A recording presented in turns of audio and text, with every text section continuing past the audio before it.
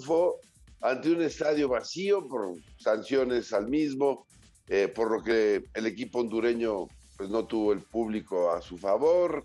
Eh, México llegó innumerables ocasiones, pero lo de siempre, hay poca contundencia para hacer los goles. Y con un autogol, México fue capaz de ganar 1 por 0 y prácticamente tienen la clasificación al Mundial en la bolsa, aunque esta matemáticamente no se tenga aún definida al 100%. Eh, lo de siempre, el equipo es muy predecible, jugó muy mal, eh, no concretó y me parece que estamos viendo los últimos partidos del Tata Martino al frente del seleccionado mexicano. Vámonos con Stephanie Fuentes que nos tiene más.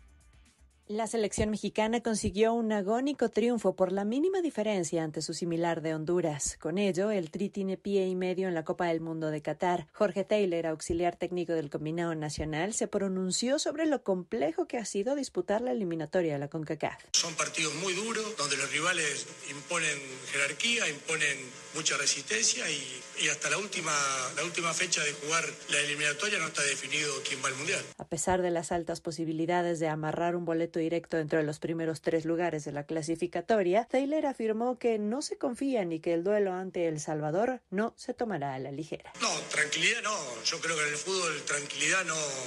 Cuando vos tenés tranquilidad, no, no, no es bueno.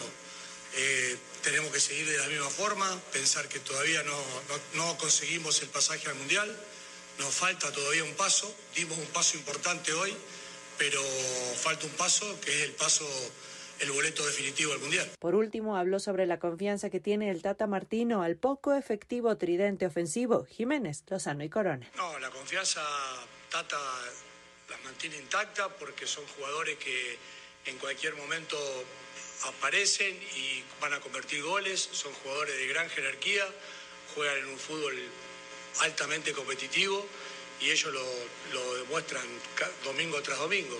Eh, no quiere decir que, no, que va a perder la confianza, nada que ver.